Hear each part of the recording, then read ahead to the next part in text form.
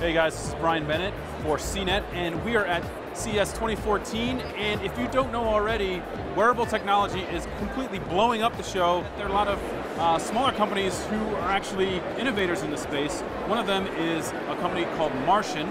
Now they've announced a new product called the Martian Notifier, which if you look at it, it just looks like a normal watch. It has an analog face, very elegant, very, you know, very premium look to it. But, you know, just tapping here and you'll see it has a little thin OLED that will display notifications and they will be pushed over Bluetooth from your iPhone or your Android device.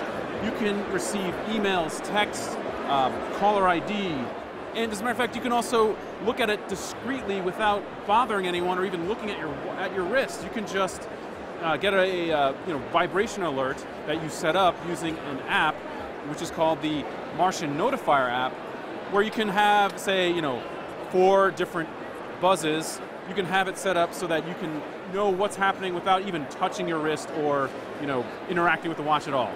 So one of the very interesting and compelling things about the Martian Notifier watch is that it has a very low price point. It costs 129, which is actually very agreeable considering that the first original Pebble costs $149.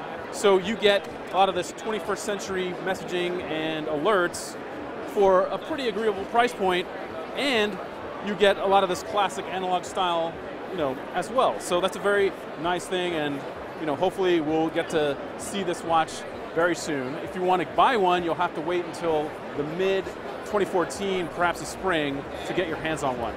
I'm Brian Bennett for CNET.com, and we've just taken a first look at the Martian Notifier watch.